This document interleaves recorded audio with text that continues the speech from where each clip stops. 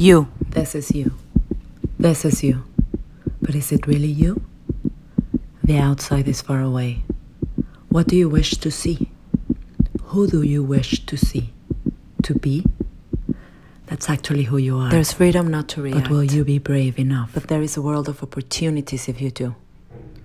Perhaps you need more darkness before you realize all the light you have inside. Perhaps your time has come. You can only understand your journey from the perspective of your future self.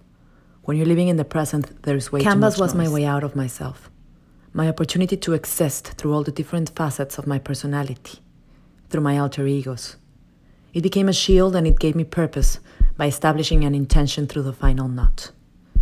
And this is where the journey begins. Live with intention. This is you.